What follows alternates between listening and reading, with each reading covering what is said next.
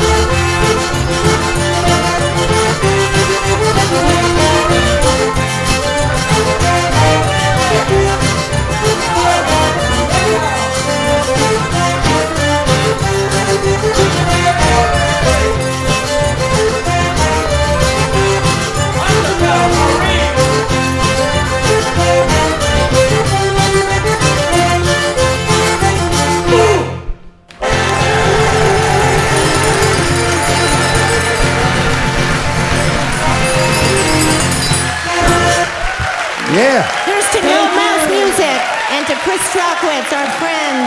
All right. Woo!